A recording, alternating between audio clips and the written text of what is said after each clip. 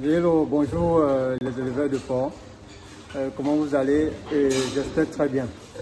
Vous vous rappelez hier, on, avait ce, on a eu le discours euh, de l'élevage en cage, l'élevage de porc en cage.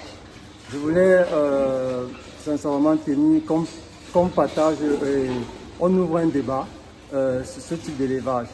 Parce que je sais que régulièrement sur le continent, on élève les porcs à l'ouvert. Est-ce qu'on pouvait comparer euh, ça à, ce type d'élevage? Comme vous voyez derrière moi, un élevage euh, dans les dans les, les. Et j'aimerais aussi, est-ce que vous allez euh, essayer de, me comprendre? Je vais beaucoup utiliser les termes italiens parce que moi j'ai appris ça, plus, je connais plus la terminologie en italien, pas en français. Euh, donc, euh, parlant de, l'élevage euh, en cache, par rapport à l'élevage à l'ouvert, comme on dit souvent ici en Italie, à la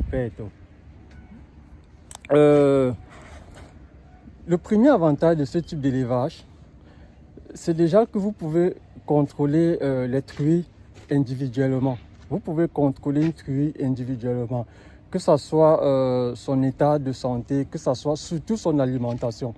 Surtout son alimentation. Parce que quand vous élevez euh, en, groupe, euh, à l'ouvert, vous, mettez, vous mettez un nombre d'aliments, une quantité d'aliments pour tout, pour, pour, tout un groupe. Vous ne savez pas quelle quantité une truie mange individuellement vous ne connaissez pas la quantité individuelle euh, d'une truie. Vous voyez que en mettant les truies en cage, vous pouvez les suivre. Euh, si une truie ne mange pas, vous êtes au courant, vous savez que euh, l'animal ne mange pas et vous pouvez déjà vous poser les questions. Se poser les questions qui est quelque chose de très fondamental en élevage, généralement particulièrement en élevage de porc, parce qu'il faut toujours se poser les questions pourquoi ceci arrive, pourquoi euh, euh, euh, telle chose, ce qu'on s'attendait n'arrive pas. Et on se met déjà à, à, formuler les réponses pour résoudre le problème. Et on parlait de, de, l'alimentation individuelle, mais aussi à éviter les, les agressions euh, des animaux parce que les animaux régulièrement en groupe veulent se créer euh, une certaine hiérarchie. C'est normal, et même chez les hommes, quand vous mettez les gens en groupe, il y a toujours un qui veut se montrer leader et va forcément influencer les autres. Et euh, ceci va apporter comme ça une certaine domination, un stress. Les animaux les plus faibles seront stressés qui dit stress dit influence sur euh, euh, euh, l'alimentation, dit influence sur la croissance, dit influence, dit aussi facilité d'attraper les, maladies parce que le tube intestinal sera stressé, les organes de l'animal seront aussi stressés. Et par conséquent, l'animal sera plus, plus proche d'une maladie voire des maladies. Pourquoi je, me limite à une maladie? L'autre point important de, ce type d'élevage serait euh, euh, un gain considérable au niveau du poids de la masse de l'animal. Pourquoi un gain? Parce que si vous laissez un animal qui doit faire, euh, oh, je crois même en élevage de poules, ça existe, hein, euh, l'élevage en cage, tout ça, c'est le même discours peut être tenu même en élevage de pouces. Si vous laissez euh, un animal qui doit faire des kilomètres dans un espace, l'animal va forcément dépenser l'énergie pour ça. Il faudra que euh, l'animal dépense l'énergie pour faire tout ce tout-là. Et qui dit énergie, forcément utiliser les nutriments.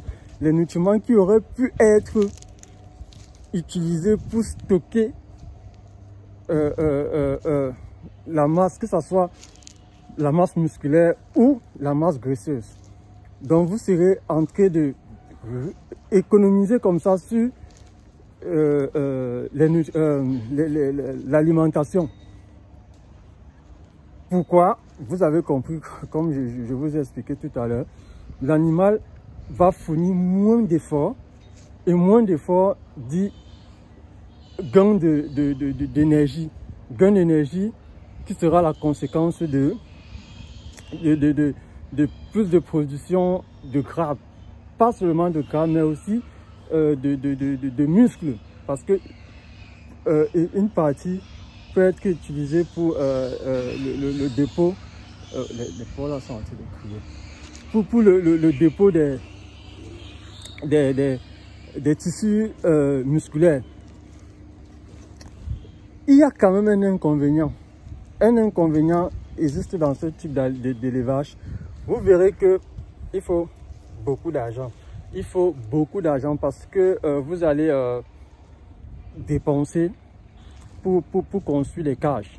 Mais si c'est un investissement qui est à long terme, pourquoi pas y penser? Pourquoi pas euh, penser à, à, à, à dépenser quelque chose, mais pour gagner, pour gagner plus sur le long terme.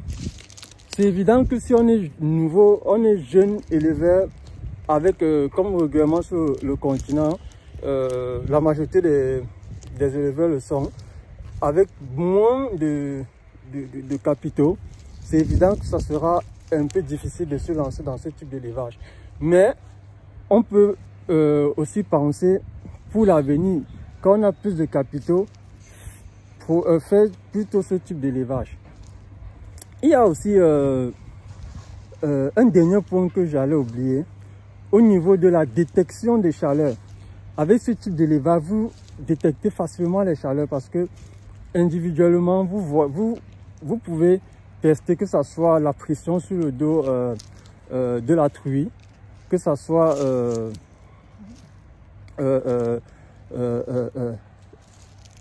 euh, le regard sur euh, la vulve de, la truie et au, passage du, euh, au passage du béra, vous réussissez comme ça à détecter facilement oh les mouches. Voilà aussi. Et si vous aimez vous vous aimez l'élevage de porc vous allez aussi aimer les mouches. Mais vous allez aussi on était à quel niveau? Je me suis perdu un peu ça, donc, tout dit, euh, ça va vous faciliter aussi à détecter euh, les chaleurs euh, chez la truie. Donc voilà les avantages de ce type d'élevage. S'il faut faire un résumé, les avantages sont je me suis perdu. Regarde-moi la fin comme ça, je, on dirait que j'ai mangé mon cerveau. On, disait les avantages sont euh, un gain en, énergie pour la truie, forcément euh, les, économies pour l'éleveur, l'économie, euh, l'éleveur dépense moins en, alimentation. Un meilleur contrôle de l'animal, on évite le stress de groupe. Et aussi on réussit à détecter facilement euh, les chaleurs, bon, c'est plus pratique aussi. quand je, disais facile euh, dans la détection des chaleurs, c'est plus, c'est plus pratique pour l'éleveur. Et euh, le, dernier point était sur... On, on, réussit à contrôler les quantités d'aliments consommés par la truie. Vous pouvez même le faire pour le verra. Hein. Bon, après, je ne conseille pas trop euh, de, de, de, faire ce genre de système chez les verras. Régulièrement, dans les, dans les élevages à reproduction, on a peu de verras. On n'a pas un nombre élevé de verras. On, a peu de verras. On a beaucoup plus de truies. Et en, engraissement, vous ne pouvez pas faire ce type de cage parce que euh, ben, on n'engraisse pas 50 euh, truies. on, on engraisse des, numéros élevés et on ne va pas investir énormément dans ce type de de, de, cage. Ce type de cage est plus destiné aux, euh, aux élevages de, de, de, reproduction où euh, l'objectif est de, de produire euh, euh, les, les, le, maximum de, de, de. Donc, c'était tout pour aujourd'hui. Comme j'ai dit, tous les jours, à 7 heures, je fais une vidéo et on parle d'un sujet. Euh, de, de, de quel sujet on va parler? Si vous, vous voulez qu'on parle d'un sujet, euh, laissez dans les commentaires. Surtout, abonnez-vous, likez et on va dire à la prochaine. Ciao les éleveurs. Ciao, ciao.